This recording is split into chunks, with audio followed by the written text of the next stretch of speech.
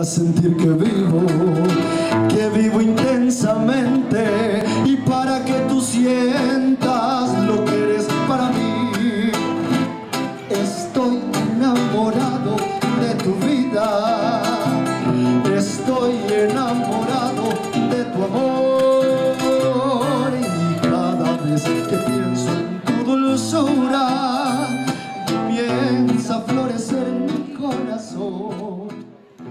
El Parque Guillermo Gaviria acogió el segundo Festival de Música Tradicional, una propuesta que tuvo su inicio en 2018, liderada desde la Casa de la Cultura Ramón Eduardo Duque, y que busca proyectar la música colombiana tradicional en el municipio. Es un espacio que pretende proyectar las propuestas y las agrupaciones del género colombiano, popular, en todos los aires eh, que competen a las músicas tradicionales en Colombia. La idea con esto es eh, proyectar, que sirva de plataforma para los grupos que están eh, desarrollando sus propuestas acá en el municipio y que a la vez nos sirva de intercambio con los municipios aledaños, los municipios del oriente. Excelente iniciativa, muy buena, que se promueva la cultura y se incentive el aspecto musical en nuestro pueblo.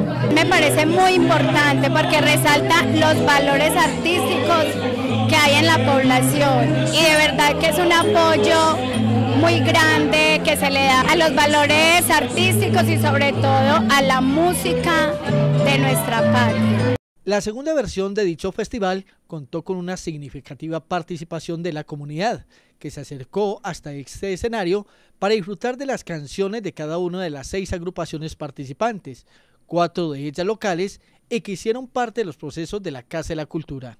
A mí me parece que el público ha aceptado muy bien el festival, eh, a pesar pues como del clima, ha asistido la gente, le gusta, se demuestra de que en, en nuestro municipio hay mucha cultura y les gusta asistir a estos eventos. Invitarlos que disfruten, pero poco a poco va construyendo un, un, un, un gran apego a este tipo de eventos. Que se maduran sobre el marfil de tu boca